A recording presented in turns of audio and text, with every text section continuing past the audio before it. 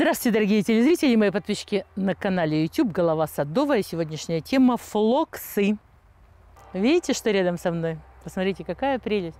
А как они пахнут, с ума можно сойти.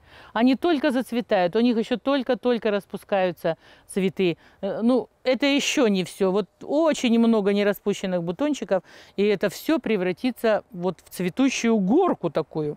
Я вообще про флоксы хотела сказать не потому, что я их очень люблю, а потому что вы задаете странные вопросы. А можно в зиму флоксы черенковать? Девочки, ну какую зиму? Но если без корней в зиму посадить хоть что, разве оно приживется? Даже если зима теплая, ну это невозможно просто. Поэтому, если вы хотите все-таки начеренковать флоксы сейчас, они должны не вот так выглядеть. А сейчас я сорву и покажу как. А вот так.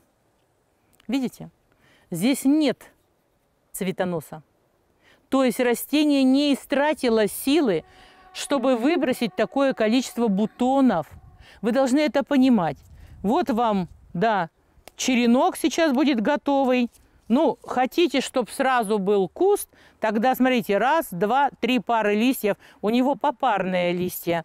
И мы отломим на сантиметра два от верхнего листа. Что мы делаем дальше? Убираем этот лист, этот, этот и этот. А вот это, что у нас осталось, мы вот так, под 45 градусов. Кто там меня учил 90 градусов? Я сказала под 45 градусов, вот так. И мы эту пару почек и эту закапываем в землю. Вот тут поверхность почвы, и у вас отсюда и отсюда по нескольку штук пойдет побегов. То есть сразу на следующий год у вас будет куст.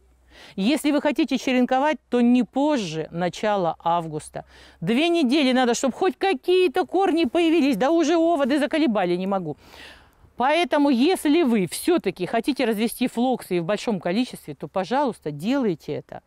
Ну, как только флокс достиг, вот я вам показывал, да, вот такого вот роста, еще не образовал цветоносы, выламываете несколько штук из куста, ну, хотя бы один – и делаете вот такие черенки. Это все, что от вас требуется. Под 45, можете полосками, можете рядами, не забывайте поливать. А, прикрыть для начала нужно полоской укрывного, чтобы солнце не пекло и не высыхало очень быстро. Это все, что от вас требуется. А вот в зиму нет, извините. Если запомнить хотя бы название флоксов, которые растут здесь, а их растет очень много и здесь, и здесь, и там, и везде, где только можно, они везде растут, а, то вам придется посидеть вечер, чтобы запомнить, да. Здесь есть профессор Вент, есть Ярославна, есть Нежность, а, есть сказки Бажова, названия все такие необычные, но я вам очень рекомендую развести у себя флокса, потому что цветок неубиваемый. Вот вы бесполезно будете выкапывать, он снова на этом месте будет расти. Если вы мелко посадите, он погибнет сразу не успев дожить до весны. Посадка на штык лопаты. Сначала туда удобреница очень хорошего качества, цветочная, 5 сантиметров земли, и садим корневище флокса. Все, больше вам ничего не надо. Кстати, черенкованные флоксы, если вы хотите добиться хорошего результата, не надо выкапывать весной и рассаживать. Пускай они останутся у вас до осени вот в этой полосочке. Да, можете грядку, э, да, в три полосы посадить, только не друг на друга вот так вот, а с таким расстоянием, чтобы обрабатывать междурядье. И когда осенью вы их рассадите, ну, осень у нас в августе, когда идет корнеобразование, то уж весной-то через год вы получите просто вот такое вот цветение. Ну, на этом всего доброго и до свидания. Я вас всех люблю и хочу, чтобы вся планета была в цветах. Я очень люблю цветы.